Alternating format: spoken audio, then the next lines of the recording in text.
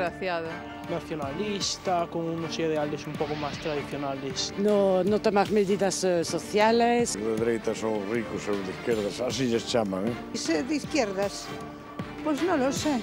Bueno, de izquierdas, se supone que se mira por el Por el, por el, que es más pobre. En la derecha es para una cosa y la izquierda para otra.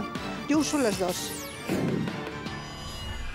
Bueno, hablaremos hoy de ideología, hablaremos de derechas y de izquierdas. Manuel Fernández Blanco, muy buenas noches. Buenas noches, ¿Cómo han ido los primeros días del año? Bueno, eh, Razonablemente bien. Sí, razonablemente bien. Roberto Blanco Valdés, muy buenas noches. Muy buenas noches. Ignacio Bermúdez de Castro, muy buenas noches y bienvenidos a, este, bueno, a esta locura que montamos aquí Pues todas las que noches. sepas, Fernanda, que para mí es un tremendo orgullo compartir tertulia Por con favor, el orgullo es nuestro y bienvenido, como decía, a esta casa, social esta casa. Pablo Arangüena, muy buenas noches. Muy buenas Domingo San Pedro, muy buenas noches. Bueno. el aborto, la reforma de la ley del aborto, que hoy ha llegado al eh, Parlamento Europeo, no porque se fuera a pronunciar sobre algo que compete a un Estado, que es en este caso el Estado español, eh, pero sí eh, porque había interés porque los diferentes grupos se pronunciaran. Un poco lo previsto, pero un nuevo rapapolvo a los planes de Mariano Rajoy y concretamente de su ministro de Justicia. Tiene todos los datos, como siempre, Usía Rodríguez, con la que ya conectamos. Adelante, Usía. Mensaje directo y claro de Europa a Mariano Rajoy. La mayoría de los grupos de la Eurocámara han pedido al gobierno español que frene su reforma del aborto. El anteproyecto de Gallardón ha llegado con fuerza a Bruselas. La izquierda y los liberales han repetido una y otra vez en varios idiomas que viola los derechos de la mujer. El Partido Popular Europeo insiste en que la normativa debe debatirse solo aquí, Europa no puede permanecer impasible mientras el gobierno del señor Rajoy pretende acabar con décadas de lucha de las mujeres por el derecho a decidir, por la dignidad, por la libertad. Is this the most pressing problem the Spanish government has to solve these days? Haven't you got anything better to do? Este fundamentalismo misógino nos devuelve a los tiempos donde el aborto era privilegio de las clases altas. Europa no puede regresar a los tiempos en los que las convicciones religiosas de una parte de la sociedad imponían leyes al resto. Este patriarcado fundamentalista ultracatólico también se expresa aquí en esta Cámara. Yo no admito que nadie nos acuse de recortar los derechos de las mujeres.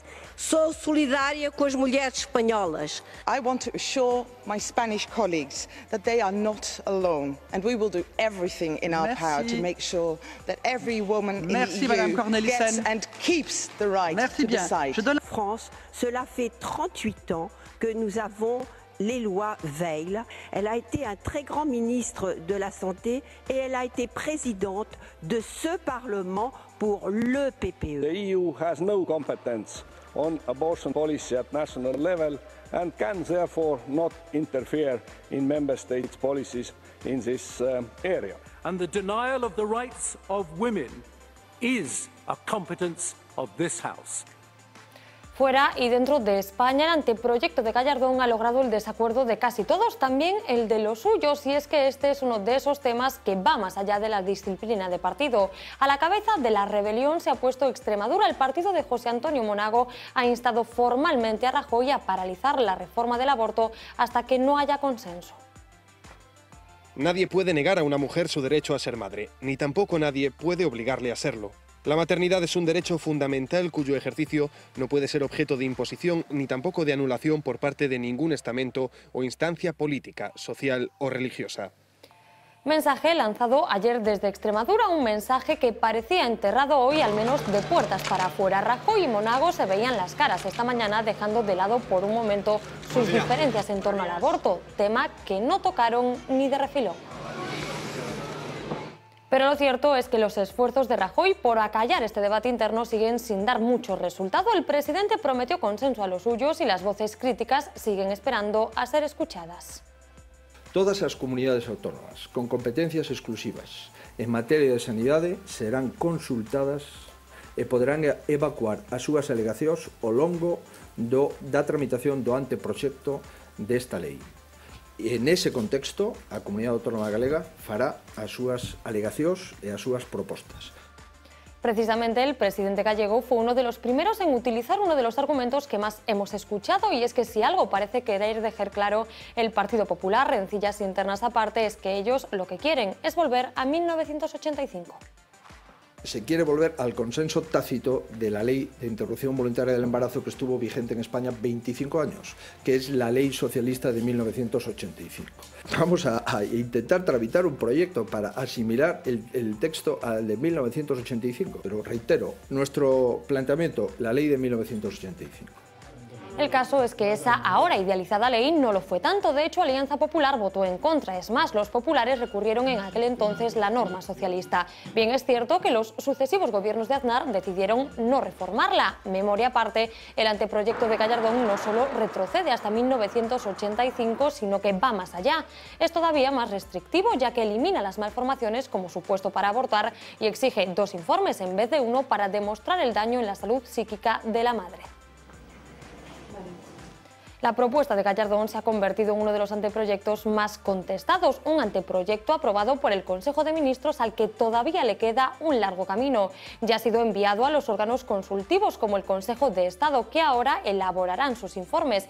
Deberá convertirse en proyecto y después pasar a las cámaras. Yo no conozco ninguna ley que no haya sido eh, modificada en sus trámites parlamentarios. Si no, no sería una ley, sino que sería un decreto ley. Pero lo que sí le puedo decir es que todas esas mejoras, sin duda, serán eso, mejoras de la ley. Pero lo que no harán, lógicamente, es desvirtuar.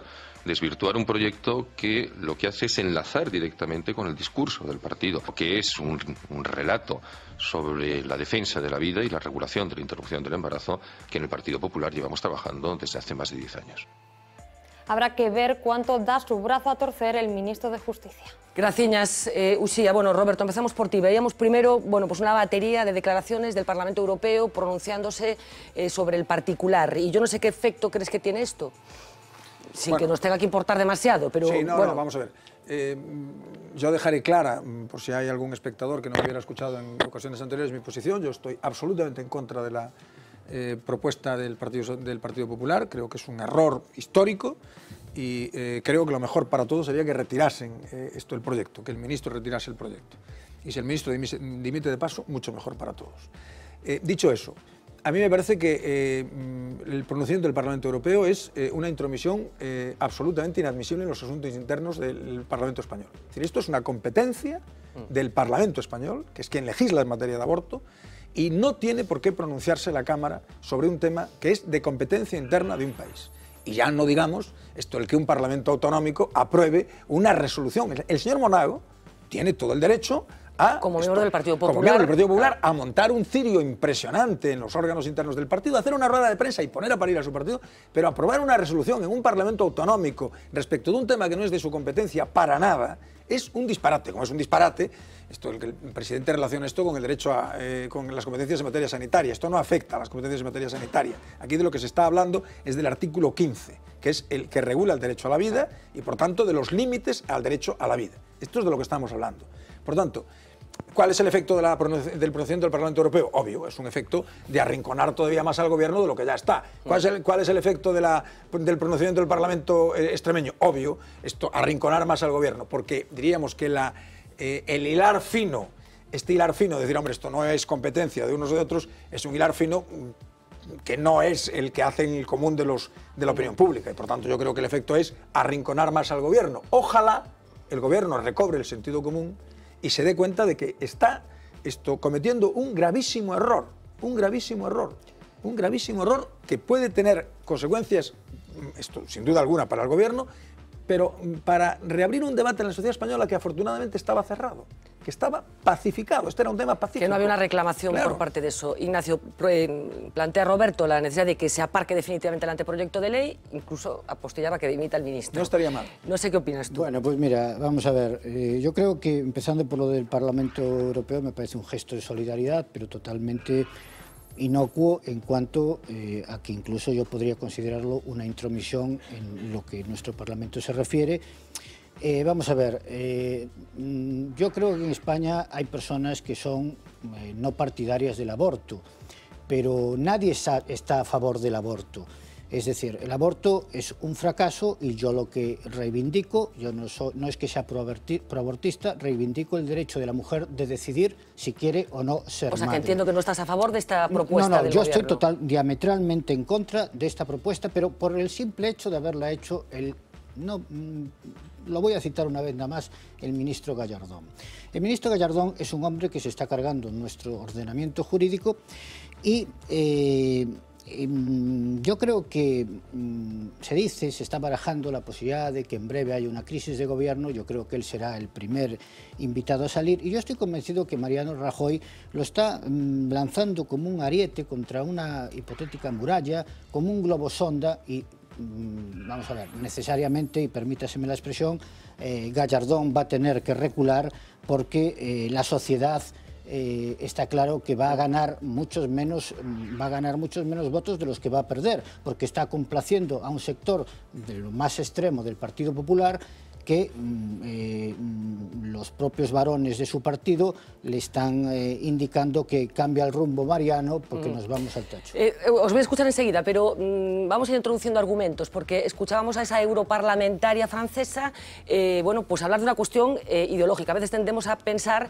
que en esta cuestión del aborto hay un posicionamiento de izquierdas y un posicionamiento de derechas, y ella se refería a esa propuesta que hace más de 30 años hacía la que entonces era ministra de Sanidad francesa, nada más y nada menos que Simone Veil. Simone Veil fue la promotora de la ley eh, del aborto francesa que continúa vigente y digo, eh, eh, aprobada por un parlamento que, como ella recordaba, eh, estaba eh, presidido por el equivalente al Partido Popular. Marina Cabegato nos va a recordar aquellos años. Adelante, Marina. Y es que Simone Veil Fernanda fue también la primera mujer ministra en un gobierno francés. Era el año de 1974. Giscard d'Estaing estaba en el poder y su gobierno de derechas, el entonces correspondiente al Partido Popular Español, logró la aprobación de la ley de despenalización del aborto, conocida a día de hoy efectivamente como Ley Veil por su creadora. Entonces, curiosamente, el proyecto salió adelante gracias a la to- casi totalidad de los votos de la izquierda y una parte de los votos de la derecha. Desde 1975 hasta hoy poco ha cambiado en la ley, entonces defendida por Simone Veil. El único cambio se ha introducido en el año 2001, cuando se alargó el plazo para, el aborto, para que el aborto fuera legal por petición de la madre hasta las 12 semanas. Antes er- eran 10 semanas. Si no ese es el caso, el embarazo también puede ser interrumpido en cualquier momento de la gestación en el caso de que exista riesgo para la vida o la salud de la madre o que haya una enfermedad grave o incurable para el feto. La ley Bail lleva ya en vigor casi 39 años. Se aprobó con consenso político y desde entonces prácticamente no se ha cambiado. Fernanda. Pues muchísimas gracias, Marina. Queríamos eh, recuperar el ejemplo de Francia para ver que no tiene que ver con eh, esa disensión entre derecha e izquierda que parece que aquí tenemos asimilado, Manuel, que el PP mm, eh, defiende una cosa y los grupos de, entre comillas, izquierdas defienden otra. Me parece que no es una cuestión de izquierda o derecha, es una cuestión de civilización. Eh, yo estoy especialmente tocado por, por este Mm. anteproyecto de ley. Me, me inquietó profundamente. A mí me parece un proyecto de ley que no es propio de una democracia, sería más propio de una teocracia.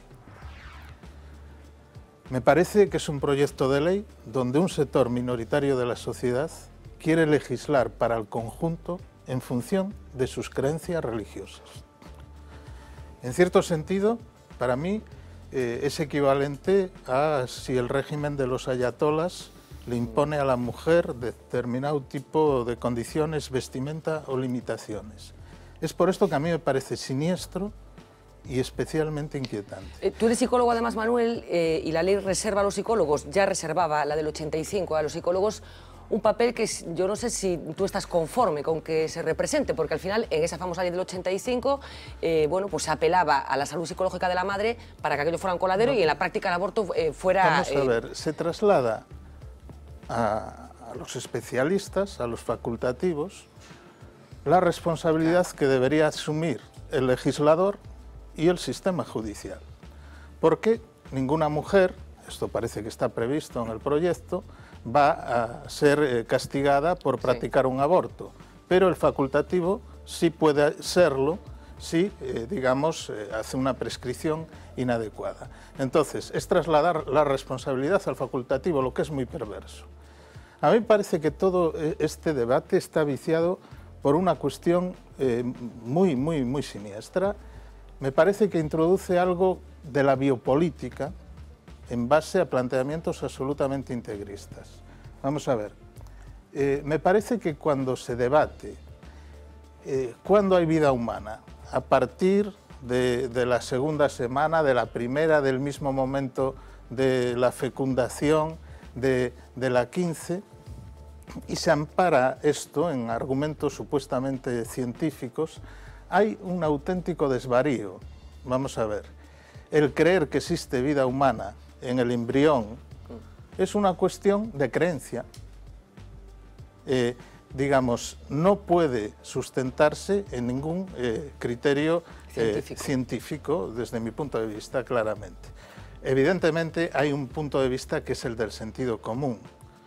Y precisamente la, la ley anterior permitía abortos, y esta puede llegar a permitir abortos, en estados de gestación muy avanzados, que a todos, desde el punto de vista del sentido común, nos parecen Nos escandalizan y nos nos escandalizan sí. y nos producen eh, ho- horror. ¿no? Entonces, salvo en una situación absolutamente límite. Entonces, me parece eh, que, que es algo que hay que parar porque si no vamos a ser gobernados, vamos a ser legislados en base a una moral que la mayor parte de esta sociedad no compartimos. Incluso me atrevo a decir algo más.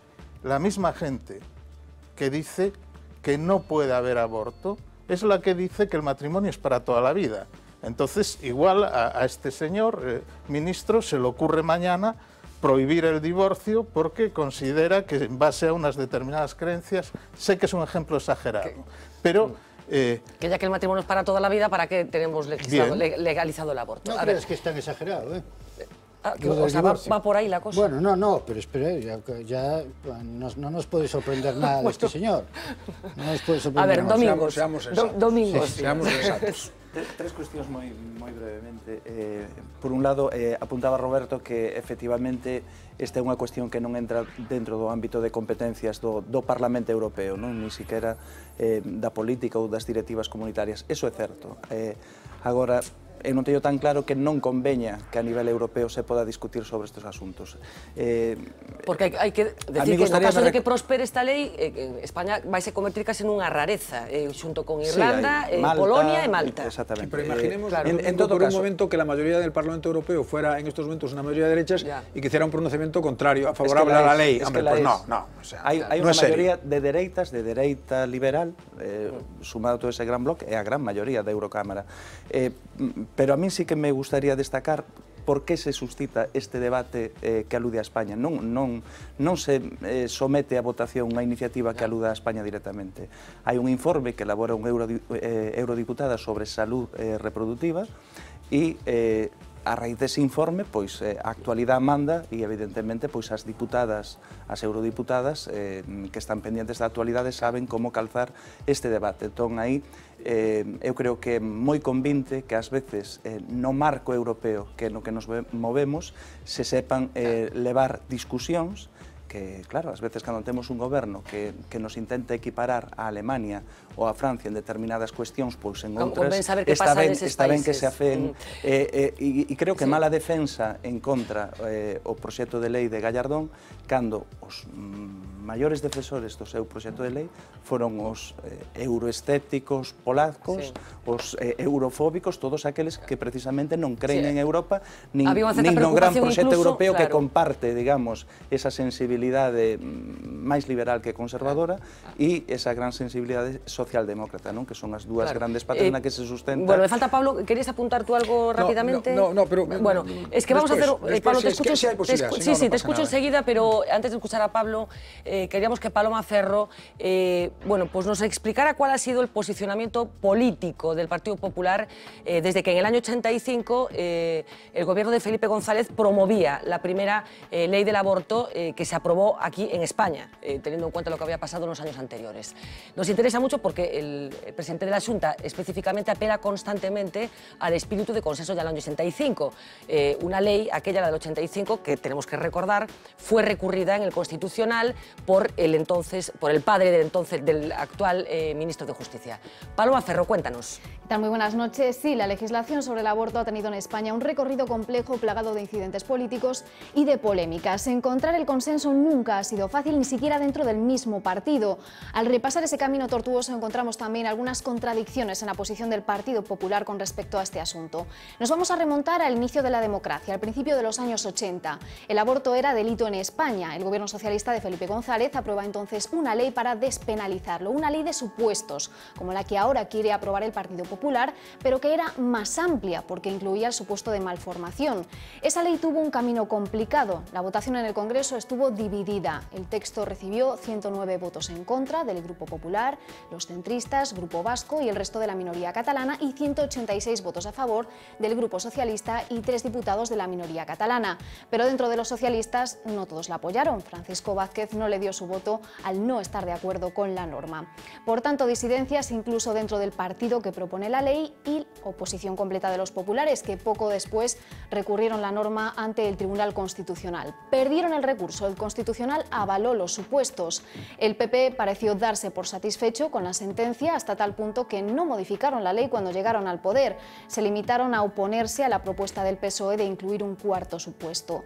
Pero la ley no la tocaron. ¿Y qué argumentaban? Bueno, escuchamos la explicación que daba Rajoy, presidente del PP, en 2009, al hecho de que hubieran respetado esa ley durante su etapa en el gobierno. Y no la cambiamos porque creíamos que era una ley que había sido, el Tribunal Constitucional había dicho que era constitucional porque respetaba el derecho a la vida y porque establecía algunas excepciones que a mucha gente le parecía razonable y porque entendíamos también que era una ley que tenía el consenso de una gran mayoría. Estos son temas muy difíciles. Alegaba consenso, cosa que acabamos de ver es falsa, y que estaban contentos con los tres supuestos, también con el de malformación. Vamos a seguir ese recorrido. Llegan los socialistas al poder y proponen una nueva ley, una ley de plazos que permite la interrupción libre del embarazo durante las primeras 14 semanas. La votación en el Congreso vuelve a estar muy dividida. 184 votos a favor de siete partidos, entre ellos el PSOE, 158 votos en contra, entre ellos los de todos los diputados del PP que rechazó la norma en bloque. Pero como ocurre ahora con la ley Gallardón, entonces también había matices dentro del partido. Por un lado existía un sector duro que encabezó la diputada Sandra Moneo con discursos como este. Esta ley es el más claro y vivo exponente de lo que es el aborto libre, un sistema que tan solo tiene su reflejo en los antiguos regímenes totalitarios de la Europa del Este. Palabras que decepcionaron a los moderados del PP, entre ellos Celia Villalobos, que ni siquiera se quedó a escuchar a su compañera en el Congreso. Bueno, esa norma salió adelante y el PP la recurrió ante el Constitucional. Estaba claro que la cambiarían los populares al llegar al poder, pero no tan claro cómo. El programa electoral del PP para las elecciones del 2011 no incluye detalles. Esto es lo único que nos adelantaban. Cambiaremos el modelo de la actual regulación sobre el aborto para reforzar la protección del derecho a la vida, así como de las menores. Ha sido Gallardón el que hace poco concretaba la reforma que parece claro intenta contentar al sector duro del partido. Los moderados, como en el pasado, vuelven a alzar la voz. Lo que no sabemos es si esta vez esas disidencias se concretarán en votos en contra en el Congreso. Pues muchísimas gracias, Paloma. Ahora sí, Pablo.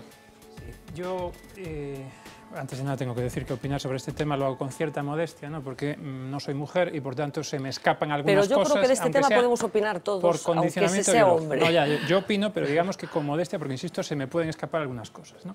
Eh, me llamó la atención hace un par de semanas o así escuchar una, una entrevista de Antonio Ortúzar, eh, que es el presidente del PNV, que le preguntaban qué opinaba de la ley esta. ¿no? Y él decía que él es católico, que está en contra del aborto, ¿no? pero que decía que en ningún caso se le ocurriría legislar en el sentido que se está proponiendo aquí legislar, ¿no? porque considera que una cosa son las creencias privadas que forman parte eh, del ámbito personal de cada uno y otra cosa es traspasar esas creencias privadas al conjunto de la sociedad, ¿no? sobre todo si no existe un mínimo consenso. ¿no?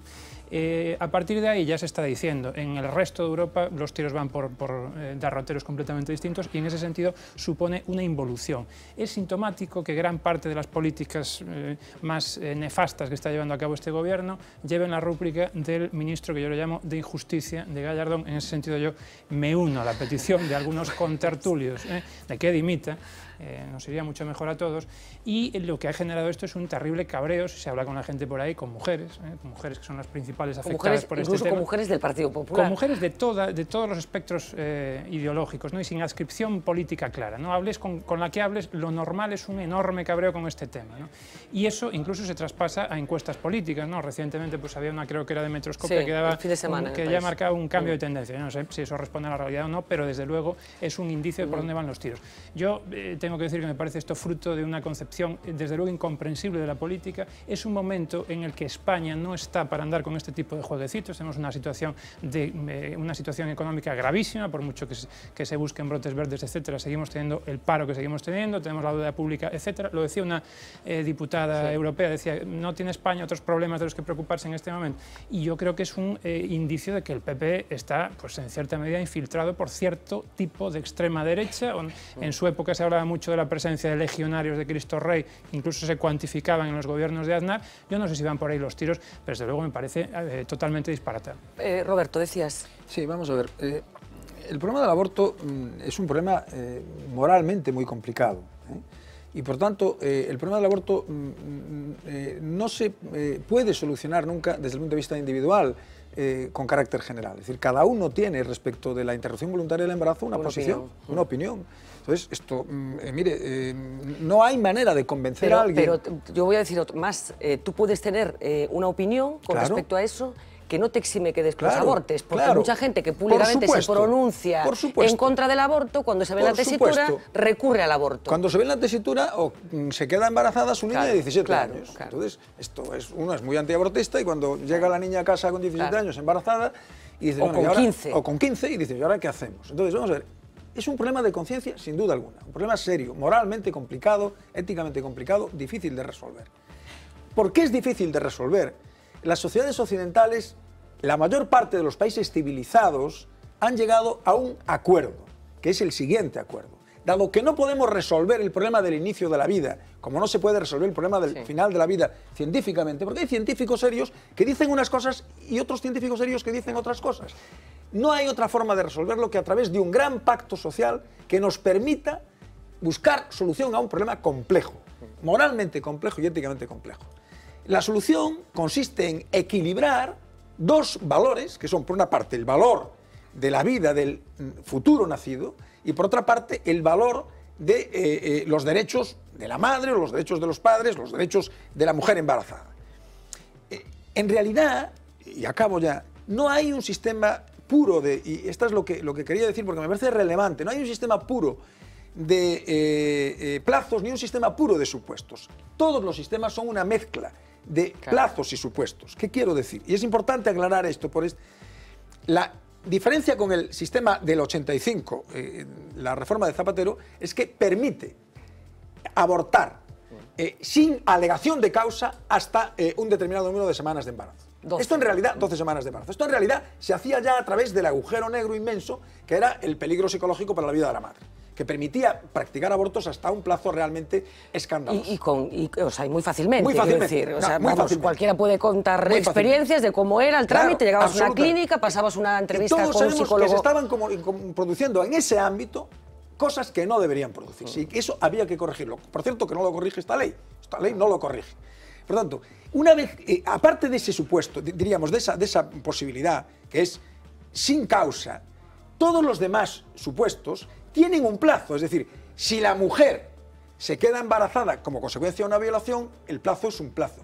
Si la mujer esto, si el peligro, si la, la vida de la, eh, de la- vida de la mujer corre peligro, el plazo es otro, otro, plazo. claro. Porque el, el baremo, el baremo, la ponderación de bienes en juego no es la misma. No es la misma la ponderación de bienes en juego. Cuando una mujer se ha quedado embarazada, esto, y no corre peligro su vida, entonces se establece un plazo determinado para interrumpir el embarazo, que cuando una mujer está en riesgo de su vida.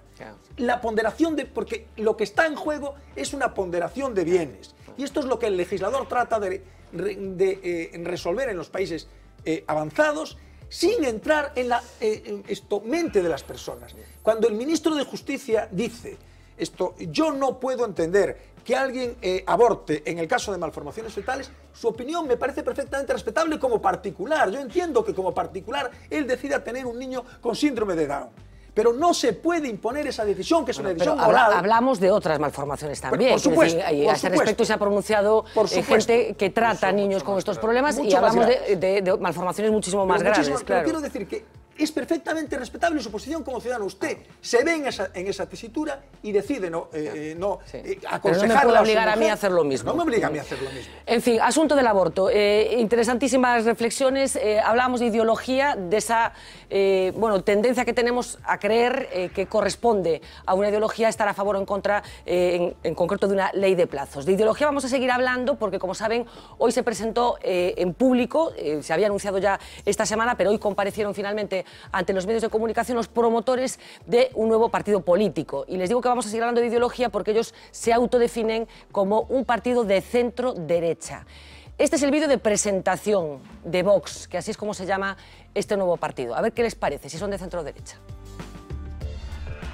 Yo no puedo aspirar a ofertas de empleo de muchas autonomías. Tampoco puedo estudiar donde me hubiera gustado. El Estado de las Autonomías ha sido un intento bien intencionado, pero fallido. Proponemos un Estado eficaz donde los ciudadanos sean realmente iguales. Mira, llevo desde las 6 de la mañana abierto. Hasta ahora, toda la caja que he hecho se la lleva Hacienda. ¿Tú crees que voy a animar a mi hijo a que abra un negocio? Los impuestos no pueden ser un arma confiscatoria que desincentive el trabajo y el esfuerzo. En el instituto, el milagro no es aprobarlo todo, es terminar los estudios y no ser independentista. España es el enemigo, nos roba y nos oprime. ¿Cómo vamos a amarla? Nadie nos va a arrebatar el derecho a ser y a sentirnos españoles. Vamos a defender la unidad de todos, la unidad de España. Una nación de ciudadanos libres e iguales. Vox ahora tienes voz. Bueno, pues veíamos a Ortega Lara, que es una de las caras visibles de esta iniciativa de Vox, que hoy comparecía ante los medios de comunicación, acompañado eh, de parte de sus cuadros. Vamos a ver lo que decía. ¿Qué ha quedado de aquello de luchar con la ley, solo con la ley, pero con toda la ley? Han terminado, en realidad, por rendir el Estado de Derecho liberando a los terroristas asesinos sin que hayan cumplido sus condenas y han colocado a su brazo político en las instituciones. Y en cuanto al cumplimiento de la sentencia de Estrasburgo, yo creo que el Gobierno tenía muchas formas de, en principio, dilatar el cumplimiento de esa sentencia. O también incluso de no cumplirla. No es la, no es la primera vez. Si no recuerdo mal, en el caso de Mario Conde y en el caso de Rumasa no se cumplieron esas sentencias, porque las sentencias, la ejecución de las mismas, depende del propio Estado. Tres, cuatro décadas después, hemos comprobado, por un lado, que el Estado autonómico actual está amenazando gravemente la unidad de la nación española. Creo que debemos de reafirmar, reafirmar el papel de la corona en nuestro país y reafirmar el papel del rey como jefe del Estado. Eh, Nosotros defendemos el valor supremo de la vida, claramente. Mm, No concebimos ni concebiremos el aborto como un derecho. Para nosotros es un drama. Estamos hablando de 100.000 vidas truncadas al año sobre las que se está haciendo auténtica demagogia. Bueno, simplemente una aclaración. Siempre que oigo del drama, parece que para que las mujeres que abortan no es un drama. O sea, el de aborto es un drama para todo el mundo, incluidas. todo- sobre claro, todo para las incluidas, mujeres que parece que es que es, casos. es- es estupendo ir a abortar. Claro. En fin, eh, Pablo, ¿qué, ¿cómo explicamos la aparición de, de este partido? Ellos dicen de centro derecha, eh, con estos planteamientos, algunos hablaron también de migración, etcétera, etcétera. Yo creo que se explica en el marco del desorden político actual que hay en este país en este momento, y en el marco de las tensiones eh, graves eh, que se están produciendo en este momento, tanto territoriales como económicas. Entonces, digamos que hay un río revuelto que propicia la, formación de, de- de formaciones eh, en los márgenes de las actualmente, digamos, institucionalizadas. un caso podrían ser los movimientos tipo 15M, que todavía no han conseguido, digamos, cuajar, pero han tenido una presencia importante, por lo menos a nivel mediático, en manifestaciones, etcétera. Y otro caso, pues puede ser este. Mm, Gente que no se sienta, esto, eh, digamos que parece que apunta un poco más allá del centro derecha, ¿no? Un poco No, más no, yo por eso hacia me la derecha atención del centro, centro derecha, derecha. porque aquí es que en este país no debe haber nadie de derechas, porque gente que se reconozca como de derechas, ni estos señores. Claro, entonces, gente que pueda no verse representada en el PP en este momento, que puedan encontrar campo de actuación, tanto a nivel personal como a nivel ideológico, en el PP. ¿no? Eh, hombre, yo lo que creo, hago la propuesta que se lleven a Gallardón a este partido y a lo mejor nos solucionan un problema a todos y a lo mejor, no sé, se encuentran bien, se encuentran encuentran a gusto. Vamos ahí, a se incluir a. Gallardón en todos los temas que vamos a abordar esta noche. Después viene a Nova, a ver cómo lo metes a Gallardón. No, aí non lo meteremos, que aí sí que nos excedes. Dirá que Gallardón non representa a Nova, senón a Abella. Y por cierto, lo que sí noto son ciertas concomitantes con UPyD. ¿no? En Bueno, ellos ya, temas- ya han dicho No, que están, no, ellos no, ya, no, ellos han dicho hoy, ellos el han dicho UPyD. hoy, Cuidado, ciertas concomitantes. Ellos han dicho nada. hoy que buscarán acuerdos y estrategias no conjuntas acuerdos con, con, UPyD y con Ciutadans. Un, eh, un, con partido, un, partido, con estos postulados posiblemente en Italia se llamaría Alianza Nacional claro, y en Francia, sí, vamos a decirlo claro, claramente, sería Front Nacional. Un partido, es un partido de, de, de derecha extrema y eu creo que hai que decirlo así con esa claridade, non?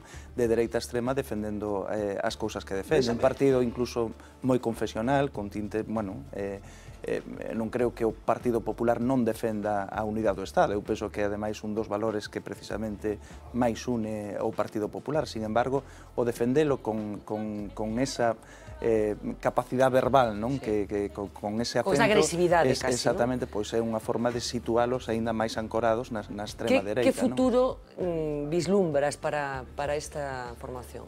Bueno, ten alguna posibilidade de Eu creo de que meterse. poucas, co sistema electoral que temos por circunscripción eh, provincial, pois eh, moi poucas, para, porque tería que ter un cupo eh, bueno, importante de votos para, para obter representación. Eh, en todo caso, bueno, é produto, como dicía Pablo, pois eh, da gran crise que están tendo os dous grandes partidos, bueno, o sistema bipartidista, as primeiras pois como se sufriu na, na época da, as da restauración. As primeiras eleccións son as europeas, que é un as sistema distinto. Exactamente. Claro. Eh, hai moita xente, eh, vamos a ver, eu quixera decir unha cosa, se me permites, Fernanda. A mí me, me, me produce un certo dor eh, unha certa dor que este aí Ortega Lara, non? Eh, eu defendín durante meses. isto... bueno, pues es como el impulsor. Como, sí, no xa o sei, no, por eso digo que me produce... Eh, no solo es un señuelo, sí. es algo más. Lo digo por esto, Fernanda, porque en realidad eh, yo recuerdo el, el secuestro de Ortega Lara, yo he tenido eh, en muchísimas ocasiones he convocado a mis Año y alumnos medio estuvo secuestrado. secuestrado año y medio, es el secuestro más largo de la historia de ETA y uno de los secuestros más largos, yo creo, de la historia. secuestrado en un agujero. En un agujero de dos por tres, o sea, una cosa verdaderamente terrible. Es una persona sometida a una tortura, eh, vamos, lo de, lo de la Variety, esta, la película de... Sí. Pero Sí. durante... De Rodrigo Cortés. de- esto de Cortés durante, varios, durante muchos meses, ¿no? Eh, y yo entiendo perfectamente que una persona que ha sufrido esto esté llena de, de, de- De resentimiento. resentimiento. Es una cosa humana. eh, es decir, eh, yo he tenido que soportar eh, cuando convocaba a mis alumnos a, a concentraciones de las manos blancas pidiendo la libertad de este hombre, todo tipo de cosas, en fin. Y a mí me apena profundamente que, que esté ahí. Pero bueno, esto es un partido que está a la derecha del Partido Popular, es decir, que a la derecha del Partido Popular, es decir, en la extrema derecha. ¿no? Intentando pescar en un sitio donde está intentando pescar mucha gente, porque hay razones para pescar, que es en el eh, caladero del españolismo. ¿no?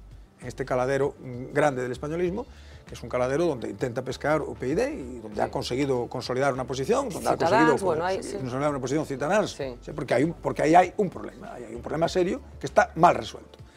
Y entonces, bueno, pues lo más fácil es eh, decir que el sistema autonómico ha sido un desastre, que esto que se rompe la unidad de España, esto es manifiestamente falso. El sistema autonómico ha hecho una contribución esencial a la igualdad de los españoles, como no ha habido nunca en la historia de Sí, bueno, España. porque piden explícitamente la Claro, supresión de las claro, autonomías, la supresión de las supresión, autonomías, lógicamente, de los eh, parlamentos autonómicos, Pero etcétera, etcétera. Yo, futuro, yo creo que ninguno. Ninguno. Ninguno, ninguno. Ninguno porque eh, el espectro está muy cubierto ya y porque además, como muy bien decía Domingo, eh, eh, la, eh, Domingos, la... la además, perdona, es- también la- es una singularidad de España el hecho de que la derecha esté tan aglutinada en un solo partido. Sí, sí, yo creo que es una singularidad de España muy favorecida por el sistema electoral. Eh, el sistema electoral es un sistema, el nuestro es un sistema que no es un sistema proporcional. O sea, la Constitución, el artículo 68, establece que el sistema electoral para el Congreso tiene que ser proporcional, no es proporcional. Es el menos, uno de los menos proporcionales del mundo, de los supuestamente proporcionales. Y es un sistema en donde 35 de las 50 circunscripciones funcionan como mayoritarias y, por tanto, eh, salvo que consigas un cupo importante de votos en las grandes, que es lo que le ha pasado a PIDE, que ha conseguido eh, el- entrar en Madrid, dio el salto. dio el salto, eh, entonces ya tienes diputados y si no, no eres capaz de competir, no obtienes financiación, no hay manera de, no tienes presencia en los medios de comunicación, es muy difícil desde, desde... Y luego este caladero es un caladero en donde compite mucha gente. El caladero de la extrema derecha, es un- en esta situación además de descontento social, es como el caladero de la, tenemos de la extrema izquierda, es otro caladero donde hay mucha gente intentando pescar. ¿no? Eh, os pido una valoración eh, corta, si me permitís, porque quiero hablar de lo de derechas e izquierdas, que me interesa mucho también. Manuel, valoración estricta de, de esta aventura. Bueno, ellos se definen como centro derecha Lo del centro, en el sentido del centralismo, está claro. Ah, bueno, puede venir por ahí, Eh, efectivamente. pero lo de la derecha me parece que, eh, que no es tan claro. De- derecha entendida por derecha democrática, eh, moderna, etc. A mí me ha inquietado un poco incluso la estética, eh, de- de- el estilo de, de los discursos. En algún momento me pareció ver a Arias Navarro resucitado, ¿no? en, eh, en el estilo, en el tono, etc. Me parece que independientemente de que tenga mayor o menor éxito electoral, creo que probablemente el test va a ser las elecciones europeas. eh, Mm. europeas y ahí pueden tener eh, una cierta cabida. Me preocupa también porque pueda dar cobijo ideológico a grupos eh, que puedan pasar a la acción no estrictamente Bueno, algunos de los, de los que están incluidos bueno, tienen el, el paso, o la actividad que tiene dentro de grupos que ya existían eh, manifiestamente de ultraderecha. Ignacio. Bueno, yo que soy un gran aficionado a, a la historia y fundamentalmente a la época fratricida del 31 al 36, lo que ha dicho no sé cuál de los, de los intervinientes en este vídeo me recuerda al discurso del Teatro de la, de la Comedia de Fundación de Falange Española Tradicionalista de las Homes, cuando José Antonio Primo de Rivera decía unas cosas parecidas a estas, pero pues setenta y pico años antes. Solo le Mejor faltaba... dichas, porque José Antonio era un Sí, fascista, pero era un bueno, buen orador. Sí, pero eh, eh, solo le faltaba hablar de la reserva espiritual de Occidente, de la uni- unidad de estilo universal, de una grande y libre. No tengo ninguna duda de que si Franco resucitara, militaría en este partido. Me recuerda también, hablando de la estética que apuntaba Manolo, al discurso, a los discursos de finales de los 70, de muy principios de los 80 de Blas Piñar, Mm, era la sí. estética de estos discursos. Yo estoy convencido que de centro derecha nada, este es un partido de extrema derecha, pero muy a la extrema derecha del Partido Popular, que le va a yo creo que le va a robar pocos votos por el sistema electoral que apuntaba Roberto, y también, también para mí tiene un atenuante este, la creación de este partido, un partido más eh, de, bueno, pues de, después del Tratado de Versalles, cuando Hitler asume el poder, eh, la figura de Ortega Lara, porque fue cuantitativamente el secuestro más largo, pero Sí, también sí. cualitativamente Sí. el, el secuestro más cruel. Acordémonos de aquel Zulo cuando lo y él que, que, que dice matarme de una vez, Sí. matarme una vez. Eso considerémoslo, si no un eximente, si un atenuante a la hora de, De, de- de decidirse solución. hacer esta, esta historia. Pablo.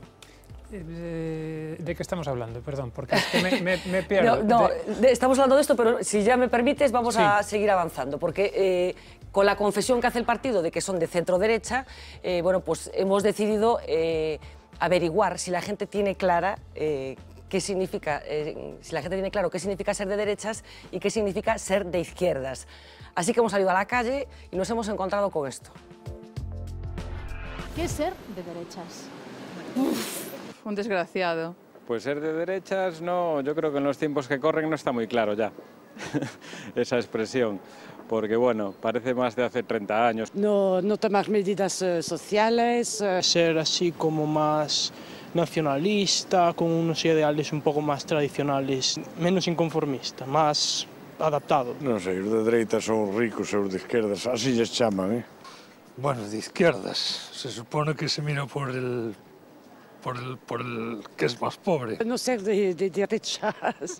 Mira, es que yo vengo de Latinoamérica y ya por lo menos yo a los de izquierda, nada. Tampoco mucho a los de derecha, pero peores son los rojos. Estar mejor adaptado a los nuevos cambios, o sea, intentar quejarse por, yo que sé, a lo mejor est- estar estancados, intentar mejorar. ¿Qué ser de izquierdas? Pues no lo sé. La derecha es para una cosa y la izquierda para otra. Yo uso las dos. Pues ni de derecha ni de izquierdas. Nah, eso nada. No, no se puede ser. Yo creo que ahora mismo que es una invención, o eres de izquierdas o eres de derechas. A la final todo es lo mismo. Todos van por el mismo camino. Bajar impuestos, ¿de izquierdas o de derechas? Izquierdas. ¿De derechas? De la derecha. En teoría es de la derecha, pero al final no... Yo creo que hoy de ninguno de los dos, pero bueno, ya que las derechas fallan, de, la- de izquierdas. Depende de quién. No, o sea, si se lo bajas a un rico es claramente de derechas, pero a la clase media baja es de izquierdas. Ir a misa los domingos. De derechas. De derechas. Derecha, derecha. También en teoría es de derechas, pero luego hay mogollón de gente que en teoría es de izquierdas que se casa por la iglesia. De religiosos. O sea, está vinculado a la derecha, pero si uno de izquierdas quiere ir, no lo voy a criticar. Hablar gallego. De derechas. Bueno, ahí la izquierda es bastante... Con, lo- con el gallego está bastante metida ahí, sí. ¿Es de derechas, es de izquierdas? De izquierdas. No, eso no es de derechas ni de izquierdas, es de listos. Parece máis ben de esquerdas, pero bueno, non somos galegos. Deben falar galego, non? Hacer huelga o ir a una manifestación. Ah, son la izquierda siempre. Depende de la manifestación y de la huelga. Hay de los dos. Sí. Ah, ahí ves, ahí yo creo que es donde se pierden los límites claramente, porque eso es cuando te afecta económicamente, va a la huelga va cualquiera. ¿Ustedes de derechas o de izquierdas? Ah, son de izquierda siempre. Eu fun sempre de deitas e de momento como dereita. Yo soy de izquierdas. Yo más, más de izquierda que de, que de derecha. Claro, ahí estamos, ¿no? Depende en los temas que podamos tratar. De ninguno, definitivamente. Bueno, esta estupenda encuesta la que ha hecho nuestra compañera Mónica, que vamos a completar eh, con otro ejercicio, que es preguntarle a la gente eh, si son de derechas o de izquierdas determinados personajes. Vamos a ver. Fi- Fijo, fijo de hombre, está claro. Non me foi fraga. De derechas. De derechas. Aunque a lo mejor no tanto como Rajoy, es un poco más moderado. Quizás sea uno de los nombres eh, de ese espectro que menos claro eh, eh, pueda decirse que es de derechas, ¿no? De derechas. De izquierdas. De izquierdas, claramente. Pero izquierda, izquierda. Del extremo. Un radical de la vida. Es una persona que viene de los años 70 con todo el bagaje ese de la izquierda contra el franquismo. Nunca ha estado en el poder. Para, digamos que es la prueba del algodón, que es donde tú aplicas lo que has pre- pregonado durante muchos años. Dereitas, esa de dereitas. Es difícilmente etiquetable. Los de su propio partido le pedirían ser más de derechas y los que están enfrente le pedirían ser más, mm, más de izquierdas. Hombres de derechas, ya lo sabemos. ¿Y Rubalcaba? También, no, Rubalcaba no es de izquierdas, no es de PSOE. Bueno, yo no sé si es de izquierdas, es de PSOE. De izquierdas, de izquierdas, quien... O sea, dicen que es Rubalcaba.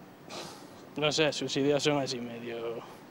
No me fío mucho. Está ya también un poco más allá de todo eso de izquierdas o derechas. Es una persona que ha hecho políticas de todo tipo. Robert, la gente no tiene muy claro qué es No, esto de no, derechas y de izquierdas. Yo Pero creo no que es una extraña. cuestión de tripas, o sea, que No uno es de izquierdas o de derechas claro. en función de algo que le palpita por dentro, pero no sabe muy bien por qué. Eh, Lola Flores la acusaron un día en televisión de haber cantado por el franquismo. Y dijo, yo, yo he cantado para el franquismo, yo he cantado para el franquismo y ahora canto por la democracia. Y cuando se acabe la democracia cantaré para lo que venga. Lo dijo completamente convencida. Cuando se acabe la democracia ya cantaré yo para lo Claro, que porque venga. esto es Claro, ciclos. Esto son ciclos, ¿no? No, yo creo que efectivamente eh, la diferencia que fue muy clara en tiempos, fue muy clara en tiempos, hoy en día tiende a difuminarse, ¿no? Eh, hace ya muchos años que los teóricos norteamericanos acuñaron el término de catch-all party, es decir, de partidos de todo el mundo. Los italianos llaman partidos piliatuto, que es muy bonito, ¿no? Partidos atrápalo todo, ¿no? En castellano, que son partidos que intentan eh, eh, pescar en todos los caladeros. Pero a ver, te voy a poner en un brete. Venga. Si tuvieras que explicar en medio minuto la diferencia entre izquierda y derecha, ¿cómo lo explicarías?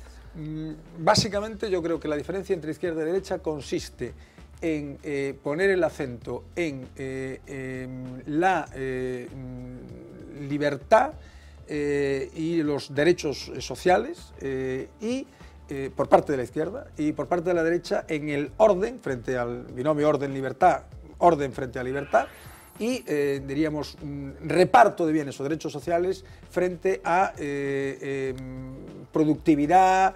Eh, yo creo que estos son los valores esenciales. Yo creo que la, mm, eh, en torno a varios elementos, el elemento de orden, libertad, el elemento fiscal, yo creo que es un elemento... eh, pero claro, eh, en teoría, luego en la práctica, eh, Hollande gana con un programa netamente de izquierdas y esto, eh, el pobre ahora no está para muchas cosas, claro, porque está en No, otra- no- no lo dejan ir a ver a- no lo dejan ir a ver, a- en fin, está el Bueno. hombre.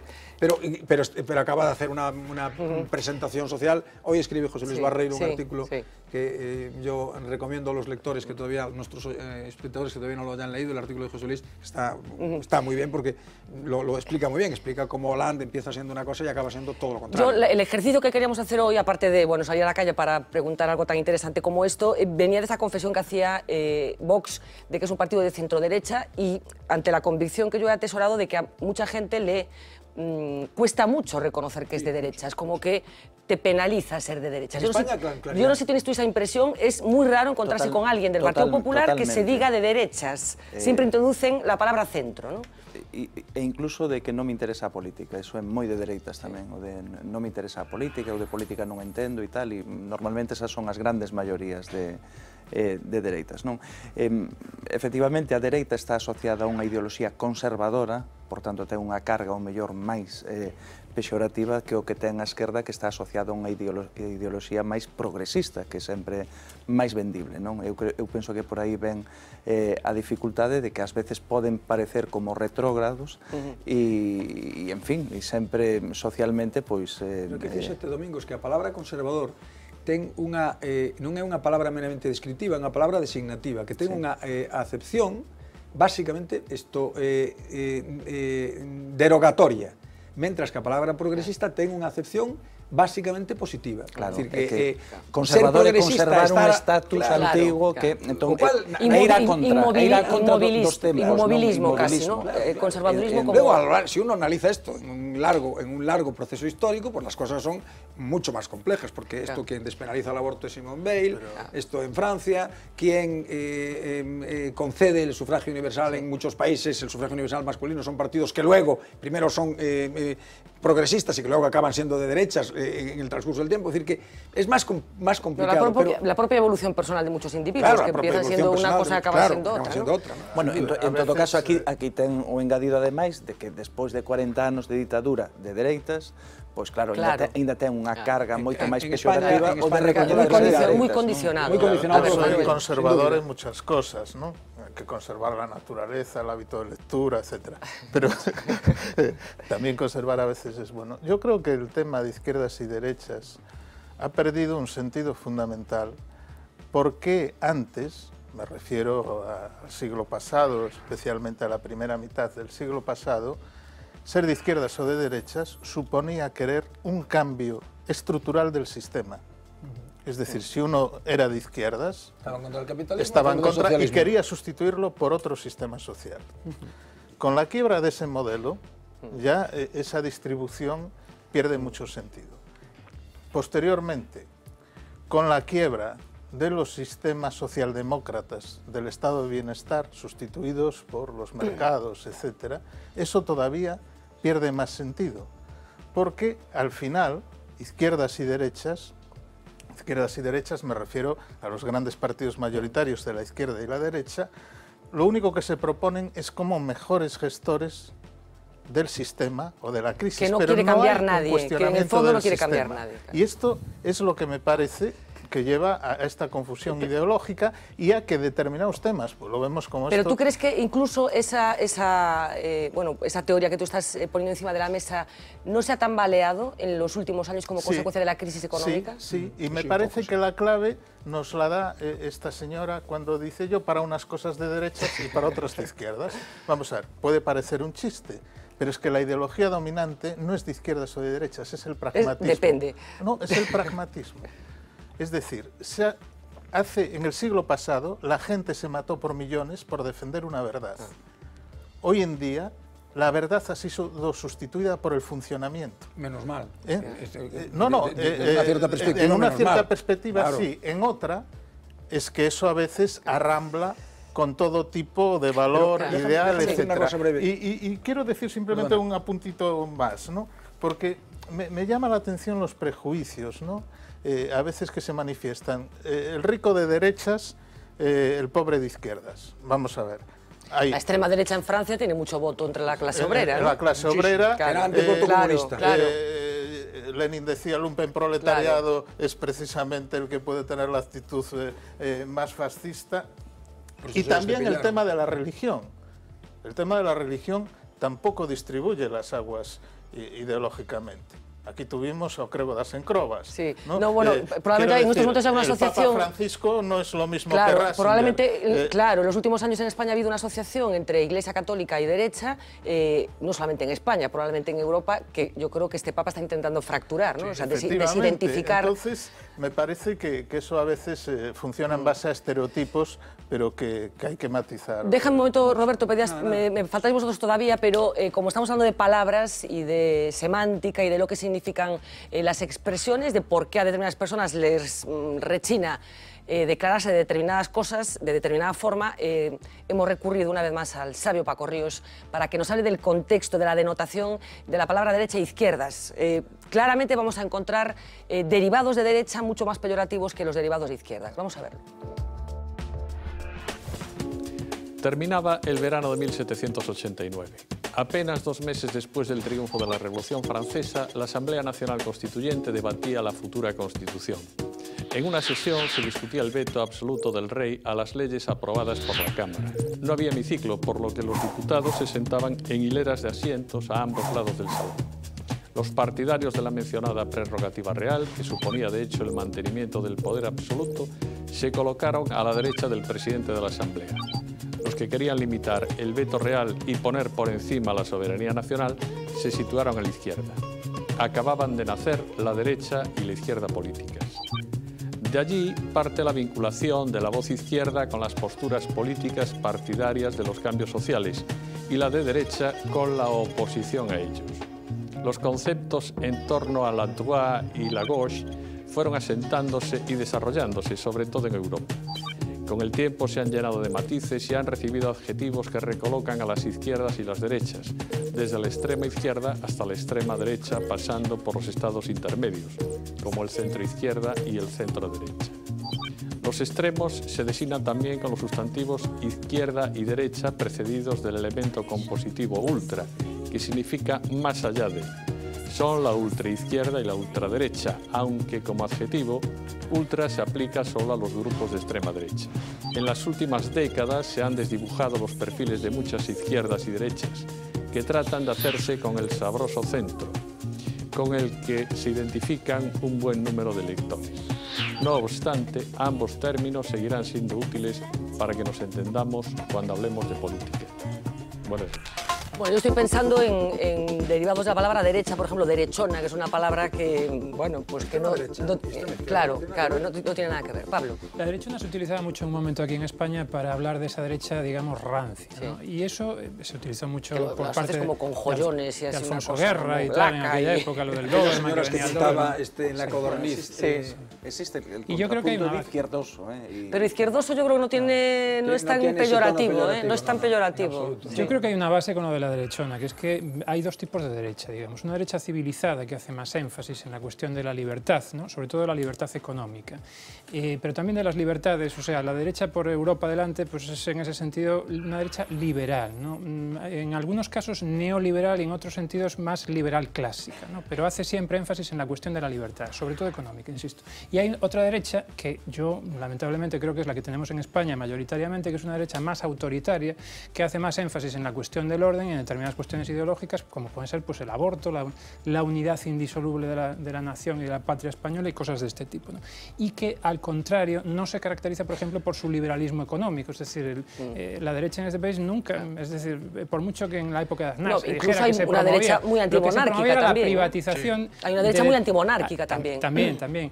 Pero lo que quiero decir es que tenemos una derecha que no es homologable, se puede discutir si la izquierda es homologable, ¿no? pero como estamos, bueno, en este caso estoy hablando de la derecha. La derecha no es homologable, y empezamos hablando de la derechona, no es homologable con la que existe en, en- en Europa. ¿no? Y luego la cuestión de la izquierda, la izquierda se, enque- se encuentra en una encrucijada en este momento, que es lo que hace un poco que se confundan am- ambos eh, eh, polos, que es la cuestión económica. ¿no? La, la izquierda, el discurso tradicional tenía un, tenía un discurso de transformación socioeconómica, pero sobre todo económica económico, o sea, se partía de transformar la sociedad a partir de la economía. Transformando la economía se transformaba la sociedad. En este momento ese discurso pues, se ha quedado un poco descafeinado en gran medida pues, por la globalización, porque es muy difícil atrapar los capitales, porque la tecnificación y la complejidad de la economía es muy superior a la que había en otros momentos de la historia y porque los capitales son también mucho más móviles. ¿no? Entonces, tratas de regular esos capitales y de, y de, y de meterlos en vereda y se te escapan por los resquicios, por las fronteras, por las complejidades. Y por tanto, en este momento, pues la izquierda se encuentra un poco falta de discurso económico. Y además el discurso mayoritario es neoliberal y se ha encontrado un poco sin argumentos, sin voces de autoridad que contrarresten ese discurso. La caída del muro del 89 supuso algún problemita para la izquierda europea. Ignacio. Bueno, yo quiero decir que el vídeo que hemos visto de la encuesta es desde luego para hacer una tesis doctoral sobre sociología. No, yo me quedo con dos cosas. La ciudadana que dice que Feijó es de extrema izquierda y una muy graciosa que dice Rubalcaba. Bueno, no sé si es de izquierdas, es del PSOE. Esto es muy paradigmático de lo que de es el sentir generalizado. A lo mejor esta señora con cierta socarronería y cierta ironía dijo eso. Después, eh, lo que preguntabas tú acerca de por qué hay esa vergüenza reconocerse de derechas en España. Bueno, yo creo que eh, básica, fundamentalmente, eh, porque aquí hubo 40 años una dictadura de derechas y hacen falta dos o tres generaciones para que ser de derechas no sea vergonzoso en España, ¿no? Teniendo en cuenta, teniendo en cuenta una cosa muy importante que eh, fundamentalmente, eh, vamos a ver, el concepto republicano es un concepto que se identifica con la República del 31 al 36, que eh, era una, una república casi de, de, barricadas, pero vamos a ver, ¿quiénes fueron los presidentes de la República? Todos señores de misa diaria, de comunión diaria y de derecha, ¿no? Don Niceto, eh, no, etcétera, Azaña etcétera. No, ¿eh? no, Azaña no, Azaña, izquierda Azaña republicana. era un come curas. Sí, pero era un come curas, y, y, pero bueno, pero los, pero los primeros, Sí, sí, Azaña Niceto, primero fue presidente del gobierno, como tú mucho mejor que yo sabes. Pero quiero decir, vamos a ver, ¿por qué la gente es de derechas que apuntabas tú? Yo, quiero que, yo creo que el ser o no de derechas viene impuesto también mucho por donde naces, pero no me, no me refiero por donde naces eh, por un aspecto eh, eminentemente económico, sino por un aspecto intelectual. Si una persona que nace en una familia conservadora donde hay libros, que lo hablábamos antes fuera, pues tiene muchas más posibilidades, pues la vida le ha ofrecido más posibilidades para ser un hombre progresista, un hombre cultivado, un hombre que no pertenezca a esa derechona rancia que antes aludía eh, Pablo. Y después, eh, bueno, el ser de derechas o izquierdas en España responde, a mi modo de ver, a un pragmatismo fundamental, ¿no? Es decir, el tema fiscal, etcétera, etcétera. Y después, si ya termino, eh, eh, derechas e izquierdas en España, es decir, yo diría, ¿qué, qué diferencia hay entre eh, un socialdemócrata moderado y un mm, militante del PP moderado también. Yo creo que básicamente podrían depositar su, voz, su voto en la misma urna. Y con respecto al tema de la derecha rancia o no, yo diría que lo que decía Pablo, Feijó versus Gallardón. ¿no? Yo creo que Feijó representa esta pero- derecha Eh, moderna. Sí, deja, deja que hagamos una perdona, conexión porque, eh, Pablo, decías tú que la derecha española no es homologable con la derecha europea, pero no nos olvidemos que en Europa eh, hay muchas derechas, incluso hay ultraderecha eh, que aquí no está representada con eh, la Francia, importancia que tiene... Solo en Francia hay tres Claro, partidos. Hay claro. tres partidos de la derecha que van desde Claro. los liberales de Bayrou a, a los Claro, o neogolistas sea, y Europa mm, tampoco Nacional. nos pongamos estupendos con Europa, porque en Europa están pasando cosas como las que nos va a contar Marina Chiavegato, eh, con eh, una progresión eh, preocupante eh, de los eh, eh, partidos de ultraderecha. En Italia con la ministra negra, sí. que sería incomprensible en España. Eh, claridad, Incomprensible, En Francia estamos asistiendo No, estos días a, eh, bueno, pues a esa generalización de un gesto fascista que está llegando al deporte, al fútbol, de que nos va a hablar Marina Cabegato, entre otras cosas. Adelante, Marina. Sí, Fernanda, porque es el gesto controvertido del momento. Se llama Kenele y básicamente es un saludo nazi invertido. Fue inventado por el cómico Dieudonné y se ha vuelto viral. Muchos mantienen que es como hacerle un corte de mangas al sistema y otros, como el propio gobierno francés, lo condenan. Dicen que es un gesto antisemita. El cómico es conocido por sus bromas con los campos de concentración y por su amistad con Le Pen. De hecho, se ha sacado una foto con este político de extrema derecha, ambos haciendo la quenele. Y de la quenele al saludo Y de la Kenele, ahora sí, al saludo nazi original. El anonimato de Internet ha hecho con que se hayan disparado las ventas del Mein Kampf, la obra escrita por Adolf Hitler, en Internet Archive, un archivo de libros gratuitos. El libro de Hitler ha sido descargado en los últimos años más de, de ojo, 100.000 veces. Está también, está también en la lista de los más vendidos de Amazon y de iTunes. El libro puede tener un interés histórico, no necesariamente ideológico, pero lo que no deja lugar a dudas es el ascenso de la ultraderecha en Europa. El partido griego Amanecer Dorado nos dejó imágenes como esta que vamos a ver.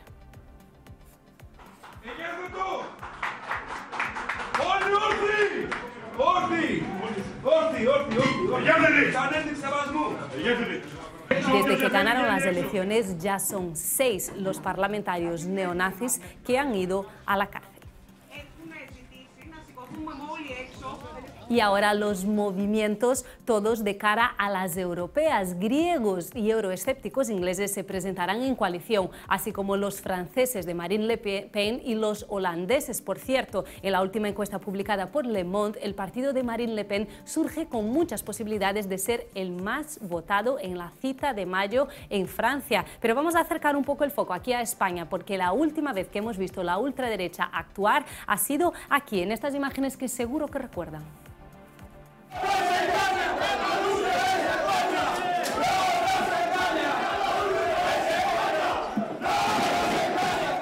Ahora Democracia Nacional, la Falange, Alianza Nacional y Nudo Patriota, cuatro partidos de extrema derecha española, preparan la plataforma España en Marcha para presentarse a las europeas y ellos dicen, Fernanda, que esperan sacar por lo menos un diputado.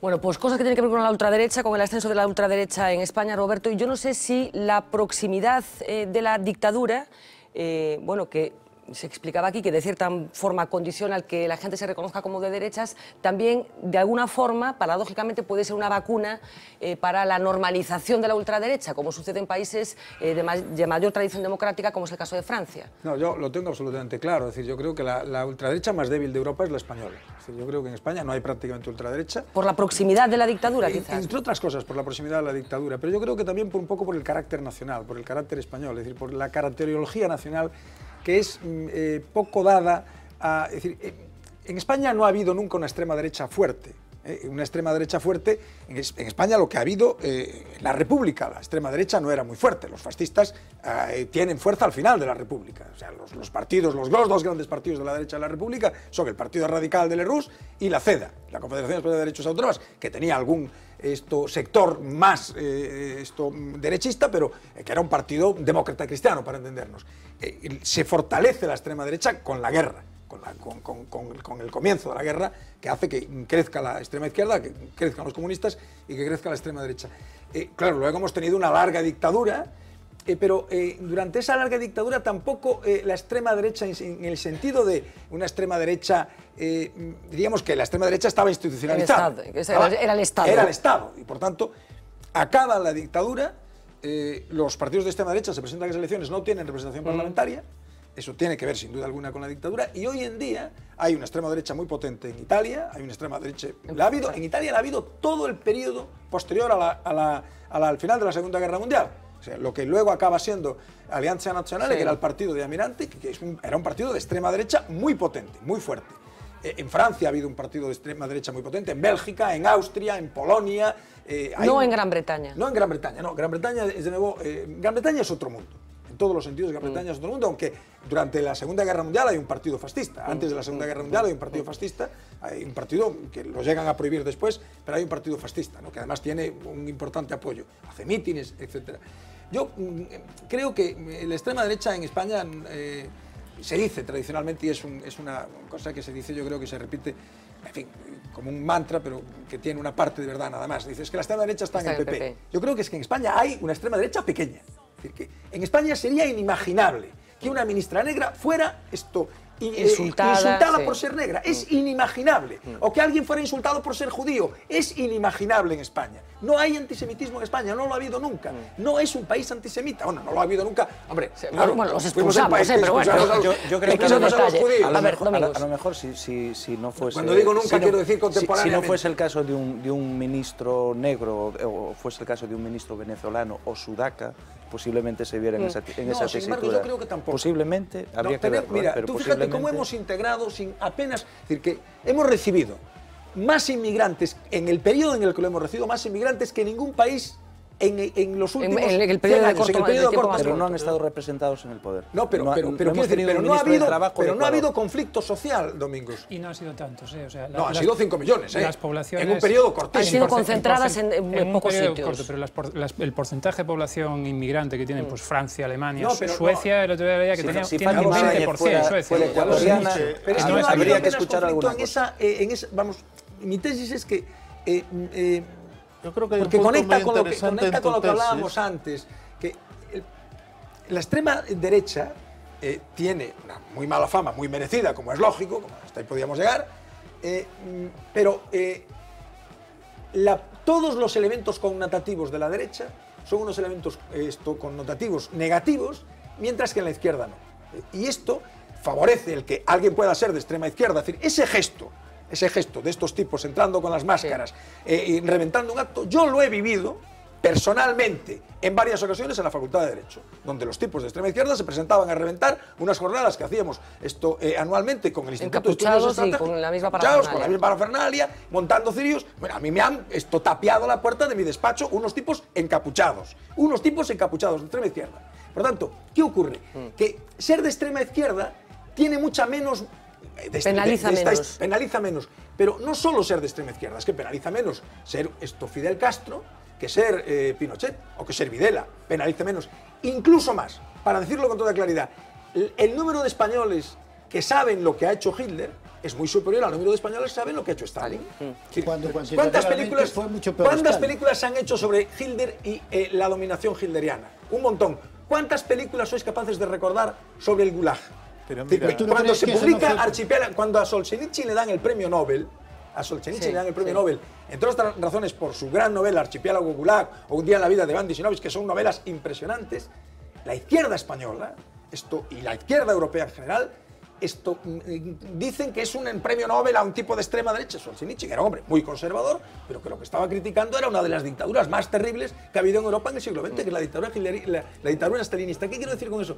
Que eh, no es lo mismo, es decir, los- los- esa misma expresión de ser conservador y ser progresista, ser conservador es en general algo negativo y ser Sí. progresista en general es A algo ver, positivo. necesito casi titulares a partir de ahora porque estamos comiéndonos el tiempo. Así que, Ignacio, Sí, tú estabas pendiente. Todo eso que decía Roberto, yo lo pongo en consonancia con el hecho de que España salió de una dictadura de derechas, por eso se criminalizaba más los crímenes de Hitler que los No, crímenes pero de eso, sí, Stalin. eso es común en toda, en toda Europa, no Sí. es un problema de España. ¿eh? Y es después, común en Europa. o sea, yo voy a decir una cosa que a lo mejor no es políticamente correcto, pero bueno, lo digo con toda Nos- aquí la- nos encantan las cosas políticamente Bueno, pues mira, yo creo que todo el mundo debería, en contra de lo que se dijo ahí, leer Mein Kampf. Como todo el mundo debería visitar Auschwitz o Dachau.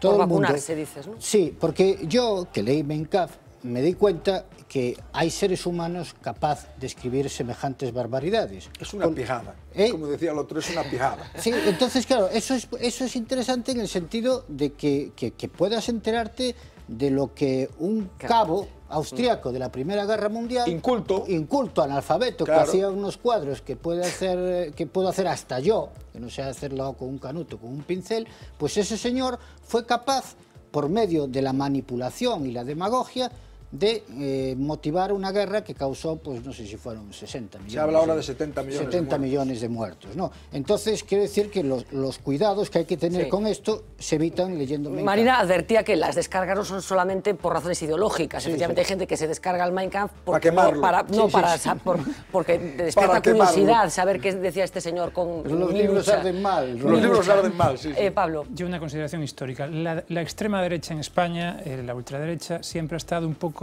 eh, nucleada muy cerca de la Iglesia Católica. Esto no sé si es políticamente correcto decirlo, pero es bueno, así. a raíz de la Sí. dictadura, ¿no? O No, sea, a raíz de- mucho antes, del mucho final de la antes. Es decir, el pensamiento ultraderecha en España siempre estuvo o orbitó muy español, cerca el pensamiento conservador español y el más conservador siempre fue muy cercano, muy a la a la Iglesia Católica. ¿no? Entonces, el tipo de problemas que le preocupan a la ultraderecha española están también muy asociados a las cuestiones religiosas. Como este el tipo pensamiento cosas, español ¿no? progresista ha sido anticlerical. ¿eh? Es decir, uno de, las, uno de los rasgos fundamentales, le he de decir muchas veces a Ramón Villares, que es un gran historiador parte de un gran amigo, eh, que el elemento fundamental que determina la conformación de bloques en la guerra civil española es el elemento religioso. Es decir, la gran brecha entre la... Entre me entre pongo los- aquí o me pongo en- aquí. me pongo aquí, me pongo aquí. Y ese es elemento, el- es decir, ese el elemento gran religioso elemento marca una el- diferencia con respecto a ultraderechas de Vamos otros a ver, países. para, para ser precisos eh, en el argumento de Ramón y no traicionar su pensamiento, el gran argumento, lo que él dice es, el gran elemento aglutinador de, la, de todos los que se oponen a la República, que tenía muchas, muy pocas, muchas cosas en falangistas, tradicionalistas, monárquicos, es el elemento, la convicción de que la República estaba atacando a la Iglesia Católica. La religión. El elemento religioso es un elemento decisivo en la historia de España. Una, una circunstancia fundamental personal que fue Fraga. ¿no? Eh, Fraga, que es el creador de la derecha española, eh, tuvo la virtud, o, la- o no sé si es virtud o no es virtud, de como él mismo era un elemento decirlo, por mucho que se moderase y tal, pero era un elemento que venía del franquismo, y no solo de- del franquismo, sino de- del Ministerio de, Interior, etcétera, un elemento muy de derecha, pues Fraga tuvo, digamos, la capacidad de anular por su propio prestigio personal como elemento muy de derecha la conformación de cualquier ultraderecha en España, ¿no? Y eso implica que, por mucho que suene atópico, la ultraderecha en España está en el PP, y esto también enlaza con cómo empezamos el debate esta noche, que es la cuestión del aborto, es decir, la cuestión del aborto, esta manifestación, esta ley de- del aborto, es una manifestación claramente ultraderecha, de la ultraderecha española. Bueno, hay quien sostiene que incluso una, una ¿Por qué? Porque está manifestación, en el PP. una manifestación provocada ahora para contentar a esa parte del Partido Popular que están descontentos en estos momentos. Esto, me parece que, que lo que has dicho, Roberto, vamos a ver, el- efectivamente aquí el ejército fue un factor fundamental. No que si no, tanto, no el, no tanto el pueblo, pero en Europa hubo una connivencia de amplios sectores de la población con las ideas fascistas. No fue solo aplastamiento militar. No, claro, ¿eh? por supuesto. Está el La- régimen la de guerra- Vichy. la Segunda está Guerra Vichy. Mundial es una guerra Claro. civil en toda Europa. Sí, no, no, pero está claro, en Francia. En todos los países de claro, Europa es una guerra claro. civil. En Francia claro, está Vichy. Claro, está Vichy. No, no, y en. Alemania El eh. Vamos a ver, eh, Claro, eso, re- eso retorna ahora. Sí, sí, Eh, es decir, que había sectores amplios de la población que eran muy sensibles y se identificaban con ese Bueno, tenemos que dejar este tema porque tengo a Gladys eh, hoy un poco esquinada. eh, para sí, como siempre, cada jueves, para anunciarnos, adelantarnos los contenidos del informe en V de esta semana con un título, buenas noches, eh, llamativo. Galicia se extingue y no estamos hablando de incendios, ¿no? No, en esta ocasión no, aunque también podríamos hablar. No, estamos hablando de un tema muy amplio del que siempre hemos oído escuchar, hemos escuchado muchísimas cosas en Galicia por cómo es nuestra población, por cómo es nuestra forma de vida, pero que ahora sí que es un problema y el problema es el del desequilibrio demográfico. ¿Por qué? Porque ya somos 1.500 gallegos menos al mes, por decir un dato, porque el desequilibrio entre cotizantes y no cotizantes es muy grave, lo dicen todos aquellos con los que hemos hablado. Pero es cierto que podríamos hacer muchos informes con las causas. Ahí no está tan claro si es una cosa estructural, que sí, los últimos 40 años ha cambiado muchísimo la forma de vida, la forma de familia en Galicia. No estamos precisamente, como todos sabemos, en el mejor momento. No hay empleo, hay problemas de conciliación. Pero es cierto que quien lo sufre ahora mismo en lo que es Galicia es el rural. Allí están los ejemplos, que es en gran parte de lo que vamos a hablar en este informe. Bueno, estamos hablando del gravísimo problema demográfica que, demográfico que tiene mm, España, toda España, pero particularmente Galicia, un problema sobre el que llevan alertando eh, grandes expertos que tenemos en este país desde hace muchísimo tiempo, que no acabamos de tomarnos en serio y que puede mm, acabar convirtiendo a Galicia en un país inviable. Así que el informe V eh, va a abordar este asunto y va a visitar eh, muchos sitios, va a incorporar muchos testimonios, como siempre hacéis, Eh, pero una de las visitas va a ser al concello con menos habitantes de Galicia, que viene siendo cuál? Sí, aparte en un modelo experimento. Ese concello es Negueira, Negueira de Muñiz, es un concello de la provincia de Lugo, para que se sitúen los que nos ven, eh, pues es un concello que ya linda con Asturias después de Afonsagrada y son más o menos unos 200 ahora según los últimos datos oficiales. Y allí es realmente, refleja un poco la realidad de lo que está pasando en el rural. Igual es uno de los casos más exagerados por lo difícil que es llegar hasta allí, tres horas casi de coche, un Desde poquillo más desde A Coruña, para que la gente se haga una idea y gran parte de ese tramo es por las seis. Pero mm, allí lo digo con cariño, parece que se ha detenido el tiempo y se vive una realidad Y completamente que algunos de los diferente. referentes que para nosotros son evidentes, Sí, allí sí, sí, sí. no existen. Pasa en un segundo Vamos a verlo. Entre la comarca de Afonsagrada y Asturias encontramos Negueira de Muñiz, un concello ubicado entre montañas atravesadas por el río Navia. Paraíso natural casi virgen para el turismo. A nuestra llegada, tan solo un perro de gran tamaño nos recibe en la plaza del ayuntamiento. No hay nadie en la calle a las 12 del mediodía. Llamamos a las puertas. A una, a otra, otra más. Lo intentamos en una cuarta, sin éxito. Nadie nos espera al otro lado. Persianas bajadas, algún todoterreno aparcado y un silencio solo interrumpido por ladridos. Al fin encontramos vecinos en el municipio menos poblado de Galicia. No llegan a 200 habitantes, la mayor parte de avanzada edad. Se resisten a emprender una huida que los ha dejado solos. Pois vivese bien, antes éramos muchísimos. Xente nova como en todas partes, pouca. Eu que sei por que marcharon. Marcharon porque isto non dá moito de sí. Ahora aquí no pueblo non hai un, ni siquiera un neno pequeno, menos de 20 anos. No, del campo ahora non vive nadie, vivíamos antes, ahora nada. E entón aquí que se fai no día a día? No día? Pois comer e beber. El destino de Negueira está por escribir. Los que mantienen vivo a este concello han ido contemplando día a día su decadencia. Cuando Galicia vivía del campo, sus soleadas laderas en verano y húmedos pastos en invierno permitían vivir de la ganadería y la huerta. Y ahí parece haberse detenido el tiempo. En la iglesia solo hay misa cada 15 días y en el cementerio dos contenedores hacen compañía a las flores. Ahí están, plantados desde el año 88. El bar está cerrado, no hay farmacia ni comercios, Tampoco escuela o kiosco. Todo queda lejos. Algo tan común como ir a la compra es aquí una odisea. Foi o corte inglés algunha vez, sabe o que é? No. E o Mercadona? Tampouco. O Gadis? No, pero aí non, Por aí non interesa. E a compra, onde fai a compra? A Fonsalada. ¿eh? Foi ao cine algunha vez? Sí, fun ao cine, sí. Sí. E cantos anos fai deso? Pois deso hai, verá 50 ou 60. A escola tamén pechou porque os chavales que, precisamente os chavales que hai, agora van a, a San Antolín Divias, que é de Asturias, que son os de aquela parte dali. Vostede sería capaz de vivir nunha cidade? Nada. Eh, mellor que Alquina. Nada. Gladys, enhorabuena. Esto es solamente un aperitivo de lo que vamos a poder ver el Allí se iban de expedición Yago y el próximo Yago y sábado, Héctor, hay que decirlo. 10 de la noche, eh, impresionante, porque eh, convivimos con esta realidad también. Decía Roberto mientras estamos viendo el vídeo que hay dos Galicias eh, que aparte no nos, probablemente no nos reconocemos la, la una a la otra. Desde luego. El 9 y el 21. es- exactamente. Es de espacio, es de tiempo. claro, de tiempo, efectivamente. Un sitio espectacular, por cierto, Neguera de Muy Muñiz, eh, provincia de Lugo. Les digo, pequeño aperitivo de lo que van a poder eh, ver el próximo sábado. Enhorabuena, como siempre, Gladys, 10 de la noche. Plató informativo, Susía Rodríguez nos va a contar más cosas de este jueves. Adelante, Usía. Fernanda, pues a punto de cumplirse cuatro meses de la extraña muerte de Asunta, son muchos los que esperan ver a su madre en el banquillo, una imagen que, sin embargo, no será habitual durante el juicio. Y es que Rosario Porto ha solicitado ser coabogada en el proceso abierto por el asesinato de su hija. La madre de Asunta quiere habilitarse como letrada junto a su actual abogado, José Luis Gutiérrez Aranguren. Eso le permitiría vestir toga y sentarse junto al resto de la defensa, salvo en los momentos en los que tenga que declarar como imputada. Además, Porto podría hacer preguntas a los testigos y al otro imputado del caso, su exmarido. Reino Unido está conmocionado por la noticia sobre el trato inhumano dado a un inmigrante canadiense de 84 años. El anciano fue detenido en enero cuando intentaba acceder al país. Padecía Alzheimer y demencia. Según los médicos, su estado era tan frágil que no podía ser detenido y deportado. Sin embargo, se le mantuvo en el centro de detención y varias veces se le trasladó esposado al hospital. Allí murió con las esposas puestas.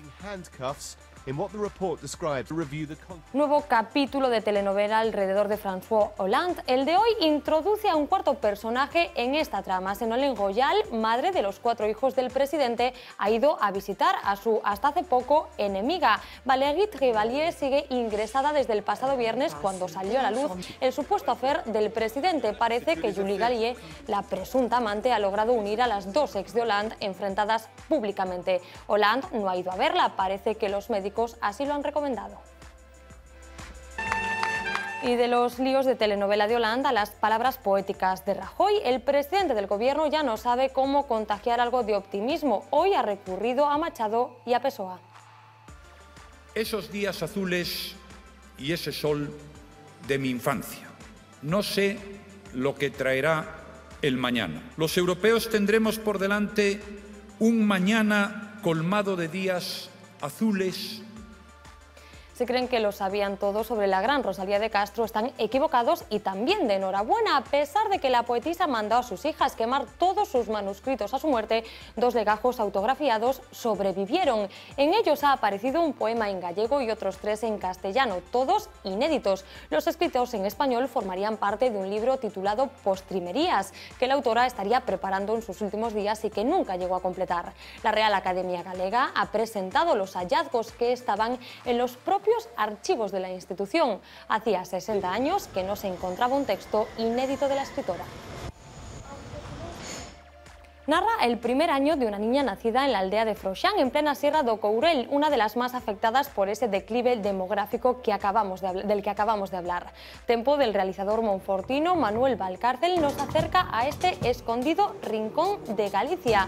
120 días de rodaje que hoy podemos ver, 120 días en diferentes escenarios para contar las condiciones de vida de los pueblos, el paso de las estaciones o la degradación ambiental. Un viaje que nos transporta al origen de todo, a esa gran colisión de dos placas continentales que dio fruto justo en este lugar, a lo que hoy conocemos como Galicia.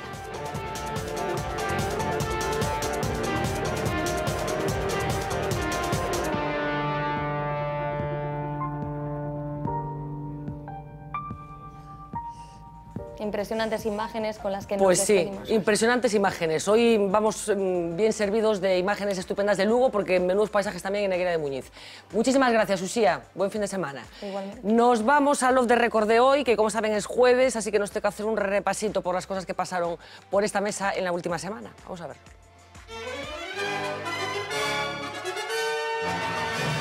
Off the record. Una semana más hemos estado ahí para ustedes, rabiosos por analizar la actualidad, literalmente.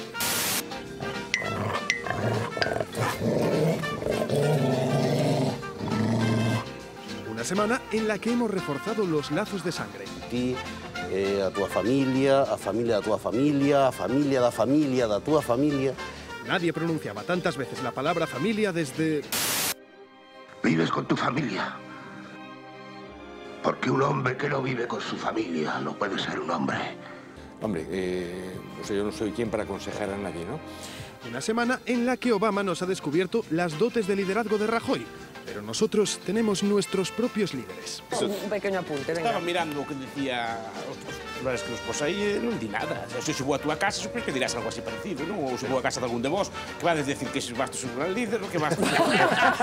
que me vades decir? Hemos hablado además de dibujos animados. Y con toda razón que los gags de este cartoon vistos hoy día es que hacen gracia. Pero ¿no? porque son... eh, Eh, eh, bueno, so- eh, eh, son, no te los voy a Pueriles, explicar. digamos, o no, son- no, pueriles no, no, Son, son, son muy fuertes, son muy fuertes. es, es demasiado.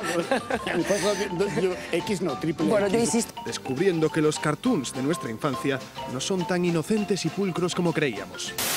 Bueno, Donald es que tiene muchas personalidades. ¿Quién ha dicho eso? ¿Quién coño lo ha dicho? Me quedo con tu nombre y me quedo contigo. Y ahora levanta, ponte en pie. Mejor será que no me encabrones. No te perderé de vista. Semana además en la que la justicia ha empezado a apuntar hacia nuestro programa. Porque mira, yo hoy, hoy puedo salir de aquí, presentar una querella contra vosotros cinco y que mañana un juez me admite y que os impute. Ya nos tememos cómo acabará todo esto.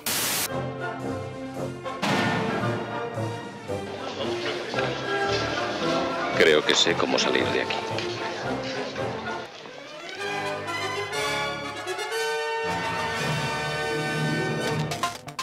Luis Balado, como siempre, dando la puntilla final a nuestro programa. Todos los jueves ya saben que repasamos cosas que sucedieron en esta mesa. Señores, muchísimas gracias por acompañarnos esta noche, una gran noche. Regresamos próximo lunes, ya saben, 10 menos 20, como siempre en directo. Sean felices.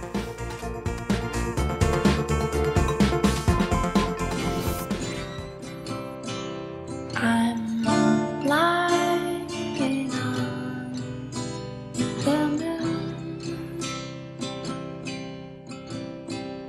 My dear, I'll be there soon. It's a quiet, starry place. We're swallowed up in space. We're here a million